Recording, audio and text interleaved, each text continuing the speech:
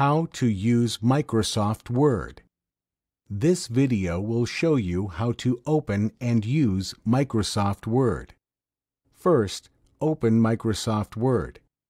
If you have a Microsoft Word icon on your desktop or taskbar, you can click on the icon to open the program. If you don't see an icon, you can find Microsoft Word in the list of programs on your Start menu. After you open Microsoft Word, in most cases, you will need to select Blank Document to open a new document. Once this is done, you have a blank page that you can type on. To start typing, click in the document. The first thing you should do is type your name. When this is done, click Enter and type the title or name of your document. For example, my name is Jim Smith, and my document is called About Me. So I will type Jim Smith, hit Enter, and then type About Me. I will hit Enter again. After you do this, you are ready to type your paragraph.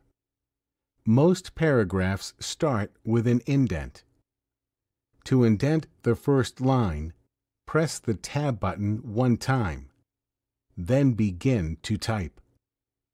For example, after hitting indent, I will type, My name is Jim. I am from Kentucky. I work in a clinic in Washington. At the clinic, I use computers to record patient information. I like my job. Review what you have typed. If you see a word with a red line underneath, that means that it's not spelled correctly. Right-click on the word, find the correct spelling of the word, and click on it. It will replace the misspelled word. When you are done typing, you will want to format center your title and double space your paragraph. To center the title, you will highlight the words About Me by clicking and dragging your mouse over them. You will then go to Paragraph in your Home tab and select the center icon. To double space your paragraph, you will highlight your paragraph by clicking and dragging your mouse over all of the words. Then you will go to the line and paragraph spacing icon in the Home tab and select 2.0 to double space your paragraph. You can also change the size, color, and style of your text. To do this, you highlight all of your text by clicking and dragging your mouse over all of the words. You then go to Font on the Home tab and select the style, size, and color font you want to use. When you do work for school or work, your font is usually black, so you don't really need to change the color unless you want to. For example, when I look at my paragraph, I see that my font is hard to read.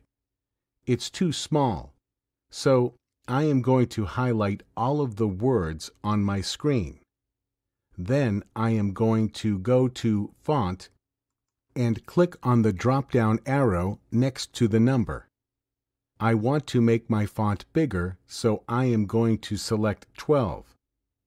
I still don't like the way my font looks, so I am going to change the style.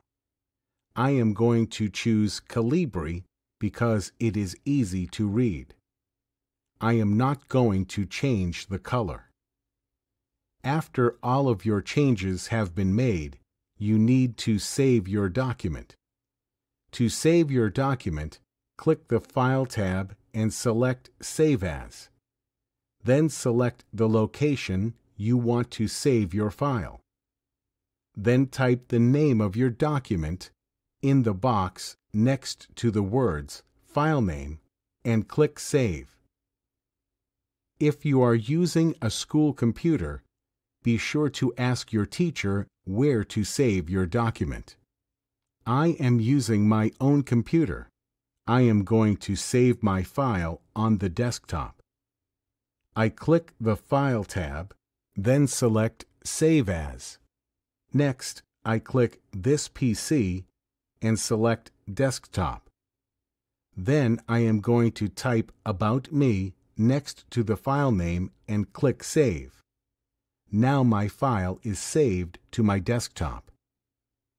These are the basic steps for using Microsoft Word. Now it's your turn to try it. Remember, if you have any questions, you can watch this video again or ask your teacher for help.